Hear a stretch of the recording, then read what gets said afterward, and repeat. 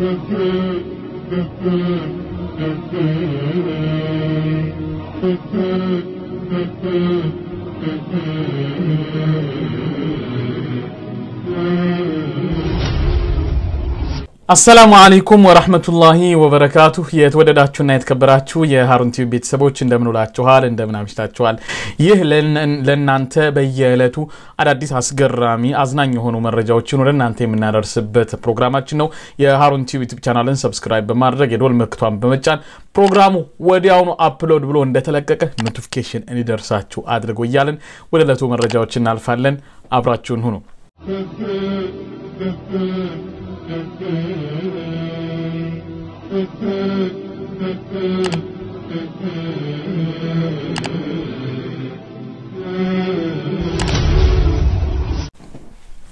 በሀገራችን እንግዲህ የተለያዩ የሚገርሙ መረጃዎች፣ ዜናዎች ይወጣሉ ከሀገር ማዶም። እነሱ እንደው የሚያስገርሙንንም የሚያስደንቁንንም ለእናንተ እያደረስናችሁ አብረን ቆይታ እናደርጋለን። ቀዳሚውን የምናደርገው ትንሽ ወደ ሀገር ቤት የተሰማው ዜና አስገራሚ ነው። ሌቦች በሀገራችንም በተለያየ መንገድ ይሰርቃሉ። ከመንገድ ላይ መንትፎ መሮጥ በብዛት የተለመደ ተግባር ነው። አንድ ሌባ ያደረገው ነገር ብዙዎችን አስገርሟል። ቦሌ አካባቢ ነው ድርጊቱ የሆነው። ተጠርጣሪው የሴትዮዋን ቦርሳዋን ነጥቆ ሮጠ። ከሮጠ በኋላ ወደ ስካይላይት ሆቴል አጠገብ እየሮጠ እያለ የውሃ መውረጃ ቱቦ ሲያገኝ ሰው ሲከታተለው በዚያ ውስጥ ገባ። ውሃ የሚወርድበት ቱቦ ነው። በዚያ ገባ። ከገባ በኋላ ተጠርጣሪው የውሃ መውረጃው ቱቦ ውስጥ በቀላሉ ዘሎ ለመግባትና ለመደበቅ ችሏል። በእግረኞች መንገድ ላይ የሚገኘው ቱቦ ክዳን ስላልነበረው ወደዚህ ቱቦ ውስጥ ገብቷል። ከገባ በኋላ ግን አልወጣም። ጥበቃዎች እሱን መውጫ የለውም በሚል እየጠበቁት ይገኛሉ። የሚገርመው ነገር ይህ ግለሰብ የሴትየዋን 1500 ብርና የሞባይል ስልክን የሰረቀው ቁልፏን ለብቻ አስቀምጦ ነው የተሸሸገው። ሌላ መውጫ የለውም በማለት ዘበኞችን በፈረቃ እየጠበቁት ይገኛሉ። ሌባው እስካሁን ከገባ 24 ሰዓት አልፎታል። ይህን ዜና ለእናንተ እስካነበብኩበት ጊዜ ድረስ እስካሁን ድረስ እየጠበቁት ነው። እዚያው መሽጎ ቀርቷል። ይህ ሌባ ወጥቶ ይያዝ ይሆን? እዚያው ይቀር ይሆን? አብረን የምናየው ይሆናል ወይስ በሌላ ቦታ ወጥታ ይሆን? ብዙ ሰው እዚህ ቦታ ላይ ተሰብስቦ ከአሁን አሁን ይወጣል በሚልም በጉጉት እየጠበቁት ይገኛሉ። በዚህ ቱቦ ግን እንዴት አስችሎት ገባ የሚለው በርካቶቹን አስገርሟቸዋል። ገርምና የሚደንቅ ነው። የሌቦ ነገር አያድርስ ከማለት ውጭ ሌላ ምን ይባላል? ወደ ሌላ መረጃ አለፍን።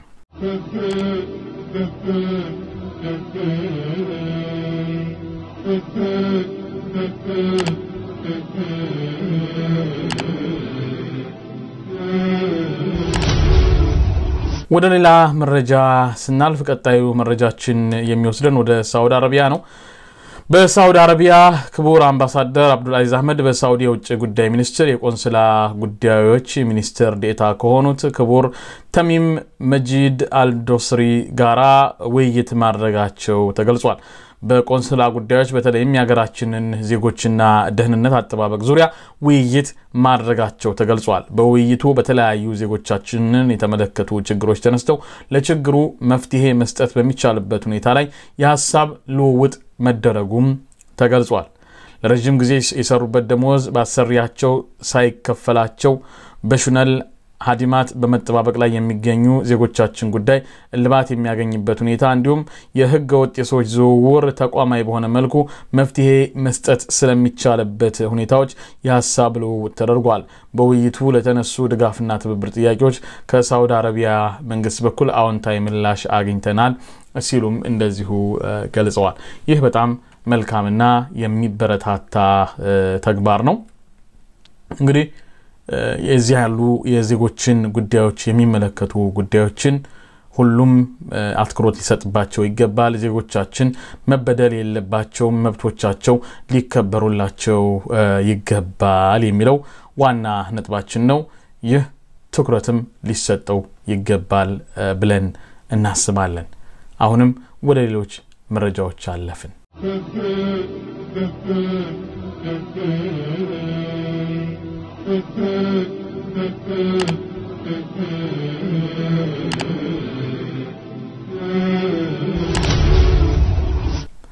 ቀጣዩ መረጃችን የሚወስደን ወደ ደቡብ አፍሪካ ነው። ደቡብ አፍሪካ ዙሉ የሚባሉ የማህበረሰብ ክፍል አሉ። ልክ ዙሉ የሚባል በጣም በርካታ ህዝብ ያለው ደቡብ አፍሪካ ውስጥ የሚገኙ ማህበረሰብ ክፍሎች አሉ። እነሱ የራሳቸው ንጉስ አላቸው እና የዙሉ ንጉስ አስገራሚ የሆነ ንግግር አድርገዋል። የዙሉ ንጉስ ማኮላሸት አስገድዶ መድፈርን ያስቀራል ሲሉ ተናግረዋል። እንግዲህ አስገድዶ መድፈር በጣም በሚያሳዝን መልኩ በዓለማችን ላይ በጣም ከባድ የሆኑ ነገሮች ሆነዋል። ለምሳሌ ባሳለፍነው ጊዜ እንኳን በሳውዝ አፍሪካ ራሱ 32 ሴቶችን የደፈረው ሰው 32 የተለያዩ ክሶች እንደቀረበበት ገልጸናል። እና ለማንኛውም ንጉሱ ወደ አሉት ስናልፍ አንድ የደቡብ አፍሪካ ድረገጽ ንጉሱ በአንድ ክብረ በዓል ላይ ለህዝባቸው ያደረጉትን ንግግር ጠቅሶ እንደዘገበው አሳሳቢ የሆነውን አስገድዶ የመድፈር ወንጀል ለማስቆም ማኮላሸት መፍትሄ ነው ብለዋል። ንጉስ ጉድዊል ዦልትኒ ማኮላሸት አስገድዶ መድፈርን ያቆማል፣ ይህም የዙሉ ግዛት እንዲህ አይነቱን አሳፋሪ ድርጊት ፈጽሞ እንደማይታገሰው ለዓለም የሚያሳይ ሁኔታ መፈጸም አለበት ማለታቸው ተጠቅሷል። አክለውም አስገድዶ የወንጀል ድርጊቱን በፈጸሙት ሰዎች ላይ የሚወሰደውን የማኮላሸት እርምጃ እኛን የመሰሉ ወንዶች ያከናውኑታል ማለታቸው ተነግሯል። ንጉሱ ይሁን የተናገሩት በደቡብ አፍሪካ ውስጥ በሴቶች ላይ የሚፈጸመው ጥቃት አሳሳቢ ደረጃ ላይ ደርሶ የሀገሪቱ የመገናኛ ብዙሃን ዋነኛ የዘገባ ርዕስ መሆኑን ተከትሎ ነው።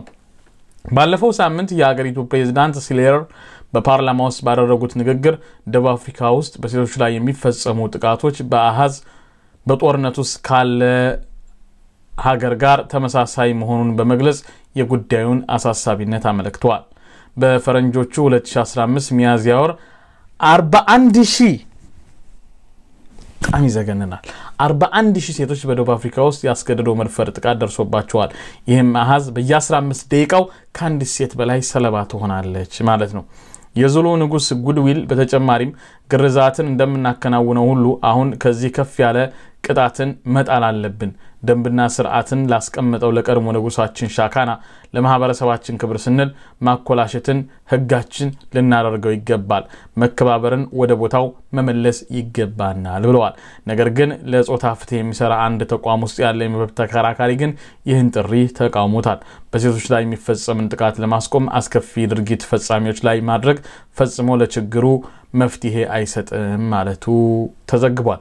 አስገድዶ ደፋሪዎች እንዲኮላሹ ጠንካራ ጥሪ ያቀረቡት ንጉስ ጉድዊል ምንም እንኳን ፖለቲካዊ ስልጣን ባይኖራቸውም በደቡብ አፍሪካ ውስጥ ትልቁ በሆነው የዙሉ አባላት ዘንድ ተሰሚነትና ተጽዕኖ የመፍጠር አቅም አላቸው ተብሏል።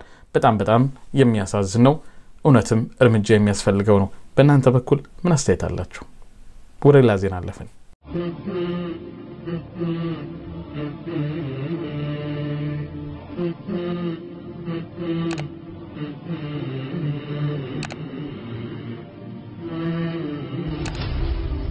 ቀጣዩ ዜናችን ከደቡብ አፍሪካ ወደ ኬንያ ይወስደናል።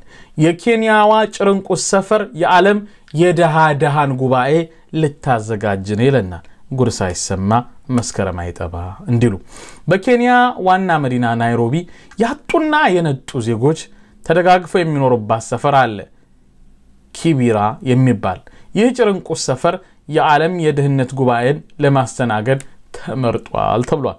ይህ ጉባኤ በአንዳንዶች Davos with the poor ወይም የድሆች ዳቮስ የሚል ቅጽል ስም ተሰጥቶታል። በኒውዮርክ የተባበሩት መንግስታት ድርጅት የመሪዎች ጉባኤ ጎን ለጎን በሚካሄዱ ስብሰባዎች ነው ኪቢራ ይህንን የጭርንቁሶች ጉባኤ እንድታስተናግድ መመረጧ የተገለጸው። ይህንን ጉባኤ ከሚያሰናዱት አንዱ የሆነው ኬኔዲ ኦዶዴ እንደተናገረው የኬንያዋ ኪቢራ የተመረጠችው ድሆች ከሚኖሩባቸው ሰፈሮችና ከነዋሪዎቻቸው ብዙ ልንሰማና ልንማር ስለሚገባን ነው ብለዋል። ኦዶዴ ጨምሮ ለቢቢሲ እንደተናገረው ኑሮን ለማሸነፍ ከሚተጋው ሕዝብ መሃል ጉባኤው መዘጋጀቱ ልንለውጣቸው ስለምናስባቸው ነገሮች ቅርብ እንድንሆን ያግዘናል ይላል። በዚህ የድሃ ድሃ ጉባኤ ንግግር የሚያደርጉት ሰዎች የሚመጡትም በመላው ዓለም እጅግ ከነጣ ድህነት የመጡ የጭርንቁሶች ሰፈር ነዋሪዎች መካከል ይሆናል ተብሏል። እጅግ የናጠጡ የዓለም ሀገራት መሪዎች ከሚሰበሰቡበት የስዊዘርላንድ ዳቮስ ስብሰባ የሚለየውም ይኸው ነው። መሪዎች ሳይሆኑ ነዋሪዎች መድረክ ስለሚያገኙ ነው ይላሉ አደዴ። በዚህ ጉባኤ በዋናነት ከድሃው ማህበረሰብ የተውጣጡ መሪዎች ይወክላሉ። አካባቢያቸውን እንዴት መለወጥ እንደሚፈልጉ እያደረጉት ያለውንም ጥረት ይነግሩናል። ያንኑ ትምህርት የሚሰጠን ያ ነው ትምህርት የሚሰጠን ብለዋል አዘጋጁ ኦዶዴ አደዴ። በመጨረሻ ብዙውን ጊዜ ድህነትን ለመቅረፍ በሚል ሰዎች በአውሮፕላን ይበራሉ ወደ ለንደን፣ ወደ ኒውዮርክ። በውድ ቦታ ተሰብስበው የሚያወሩት ግን ስለ ኪቢራና መሰል ጭርንቆች ሰፈሮች ናቸው ብለዋል። በእርግጥም ድህነትን ለመቅረፍ በሚል ወደ ትልልቅ ወደ ናጠጡ ከተሞች ስብሰባ ይደረጋል። ያ ከሚሆን ይልቅ በጭርንቁሷ ሰፈር በድሃው ሰፈር ስብሰባ ይደረግ ተብሏል። የሚያስገርም ነው።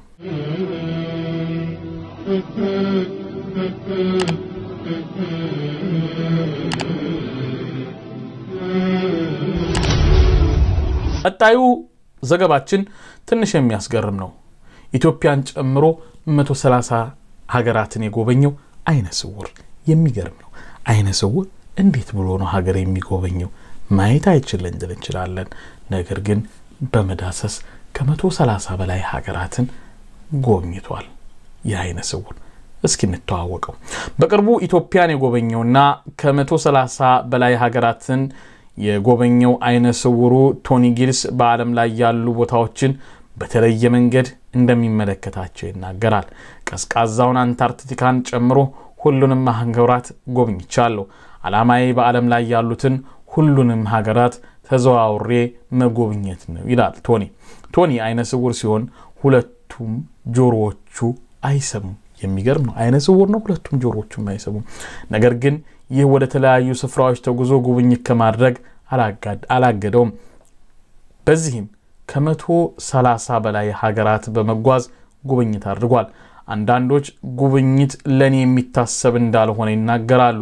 ነገር ግን ዓለምን በሌላ መንገድ ላያት እንደምችል እያሳየሁ ነው ይላል የ41 ዓመቱ እንግሊዛዊ ተጓዥ። በቆዳዬ በኩል ስሜቱን እንረዳለህ ይላል። የሚገርም ነው። መስማት ካልቻለ ማየት ካልቻለ እንዴት ነው የሚረዳው? እንዲህ ይላል። ሰዎች ሲናገሩ እሰማለሁ፣ ተራራዎችን እወጣለሁ፣ እወርዳለሁ፣ በቆዳዬ በኩል ሁሉንም ስሜት አገኘዋለሁ። ሱብሓነላህ የሚገርም ነው። በዚህ መንገድ ነው ሀገራትን የሚጎበኘው ሲል ስፍራዎችን እንዴት እንደሚጎበኝ ይገልጻል። ቶኒ ባለፉት 20 ዓመታት ወደ ተለያዩ ቦታዎች በመጓዝ አዳዲስ ስፍራዎችን ጎብኝቷል።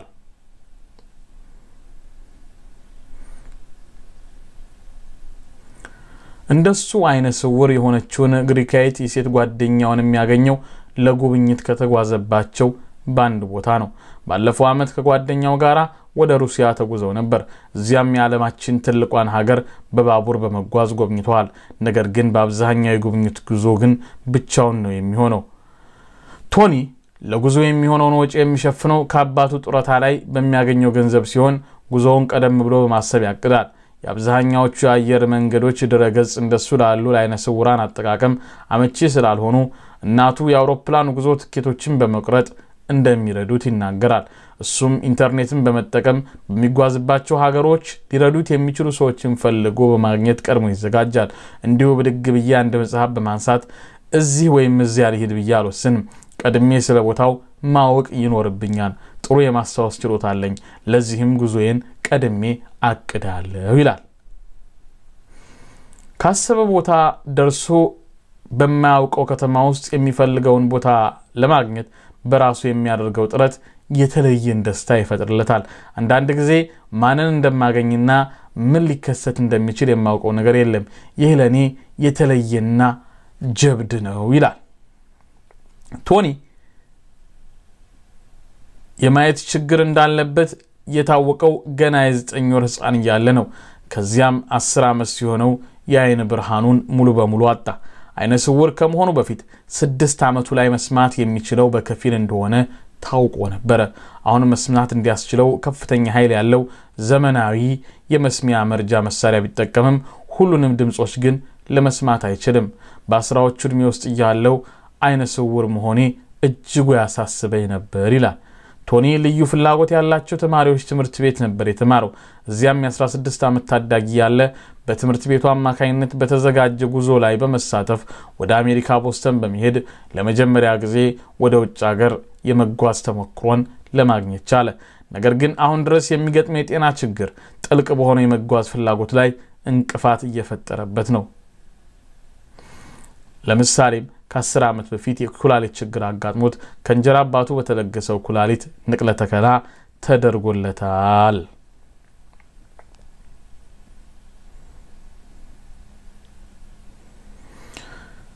እንግዲህ የሚገርም ነገር ነው። ጉዞ ሲያደርግ ወጪውን ቆጥቦ ነው የሚጠቀመው። ለመጓጓዝም የሕዝብ ትራንስፖርት ሲጠቀም መኝታም አዲስ አበባ ውስጥ እንዳደረገው ቅንጡ ያልሆኑ ነገር ግን መሰረታዊ አገልግሎት ያላቸውን ቦታዎችን ይመርጣል። ያስተናገደው ግለሰብም ቶማስ ከአካባቢው ገበያ ገዝቶ ባመጣለት ነገር ምግብ ለማዘጋጀት እጅጉን ፈቃደኛ ነበር። በዙሪያ ያለውን ነገር እሰማለሁ፣ አሸታለሁ፣ እንዲሁም እዳስሳለሁ ይላል። ቁሶችን መንካትና መዳሰስ የሚወደው ቶማስ ከሰዎች ጋር ሲያወራና የሚሉትን ሲያዳምጥ በአይምሮው ውስጥ ስለ ነገሮች ምስል ለመፍጠር እንደሚያስችለው ይናገራል። አዲስ አበባ ውስጥ የጥበብ ኤግዚቢሽን ወደሚታይበት ሄዶ የቀረቡትን ስዕሎች በእጁ እንዲዳስስ ተፈቅዶለት ነበር። እንግዲህ በዚህም ከሌሎች ሙዚየሞች በተለየ ለሱ ፍላጎት ምላሽ በማግኘቱ ከሌሎቹ እኩል ቦታ እንደተሰጠው ተሰምቶታል ይላል። ይህ እንግዲህ በጣም ለየት ያለ ነገር ነው። ይህንን ያቀረብኩላችሁ ምክንያት ምንድን ነው? የተለያዩ ነገሮች ሊያጋጥሙን ይችላሉ በህይወት ውስጥ። ነገር ግን ጠንካራ መሆን መቻል አለብን። የሆነ ነገር እኔ አልችልም፣ አይሳካልኝም ከሚል ስሜትና መንፈስ ወጥተን የማይቻሉ ነገሮችን ለማድረግ ባገኘነው አጋጣሚ ሁሉ ማድረግ እንችላለን። እኔ ስደት ላይ ስለሆንኩ ይህን ማድረግ አልችልም፣ መማር አልችልም፣ ይህን ማድረግ አልችልም፣ እንዲህ አልችልም ከማለት ይልቅ ተስፋ ሳንቆርጥ ከህይወት ጋር ግብ ግብ ትግል ስናደርግ አላህም የእኛን ጥረት አድርጎ ያግዘናል። ስለዚህ ይህ በእውነቱ በጣም አስተማሪ ነው። ማየት አይችልም፣ መስማት አይችልም፣ ግን በሚገርም መልኩ በእንደዚህ ያለ መልኩ የሚያደርገው ጥረት አጃኢብ የሚያሰኝ ነው። ይህ በጣም የሚያስደስት ነው። እስኪ ደግሞ አሁን ወደ ሌላ እንደው አጃኢብ ወደ አሰኘ ዜና እንለፍ።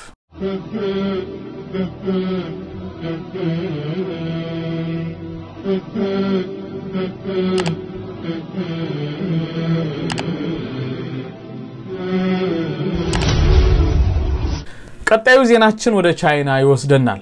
የተቆጡት ቻይናዊ አከራይ የተከራያቸውን ገመና አጋለጡ ይላል።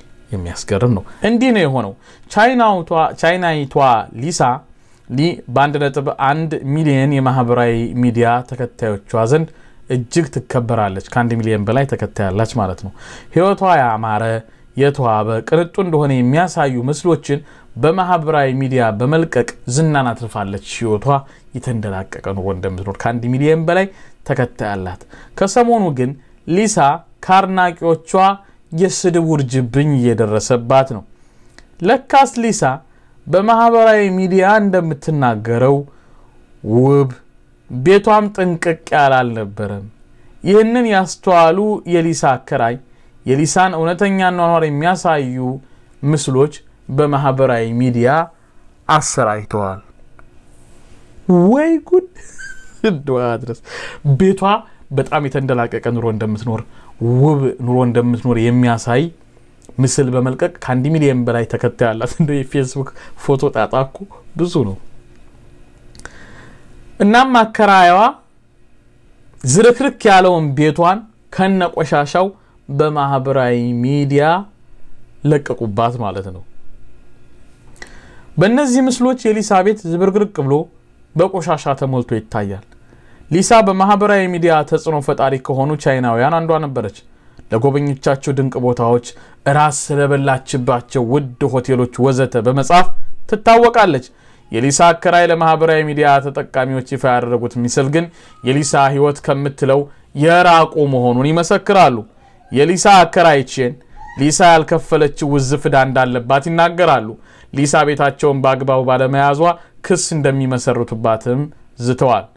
የሊሳና የቼን ጉዳይ ቻይናውያኑ በሚጠቀሙበት ማህበራዊ ሚዲያ ቡ ላይ መነጋገሪያ ሆኗል። የሊሳን እውነተኛ ህይወት የሚያሳዩ ፎቶዎች በማህበራዊ ሚዲያ ከተሰራጩ በኋላ አድናቂዎቿ ተቆጥተዋል። ለቀናት ሊሳን ሲዘልፏትም ነበር። ሊሳ በበኩሏ ባደረግኩት ነገር ተጸጽቻለሁ ብላ ከአከራዋ ይቅርታ ጠይቃለች።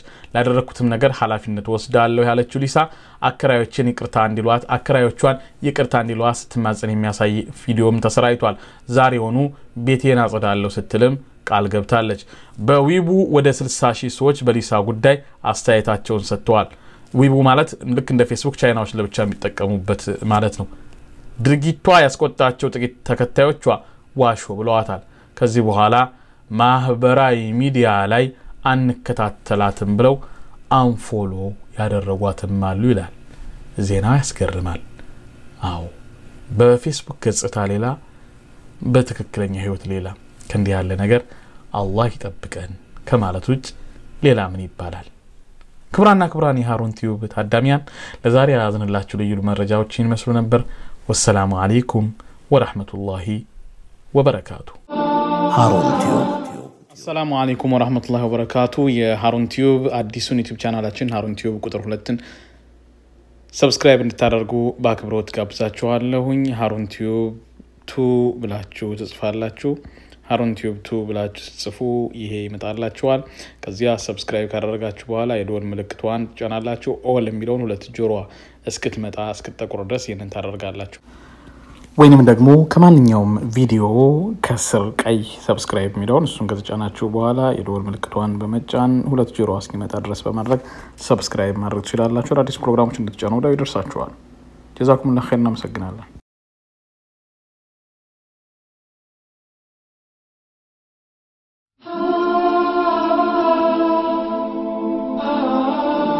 ሃሩን ቲዩብ